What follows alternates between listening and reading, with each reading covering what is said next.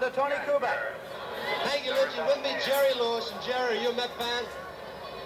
I didn't leave Los Angeles last night and land in Baltimore. Did you notice? Am I a Met fan? Gil Hodges, a great friend. Yeah, we've been friends for years. It's pretty exciting.